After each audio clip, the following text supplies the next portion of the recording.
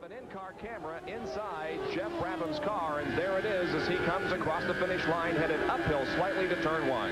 Down into turn two here. Geoff just doing something to his eye there, to his uh, helmet. Maybe he's got a bit of a problem with his uh, visor or something. He's putting his arm up there all the time. Um, like I say, through that turn there, they're doing just about 170 miles an hour, so you really need to hang on with both hands. But he's obviously got some sort of a problem because he keeps on uh, doing something to his visor.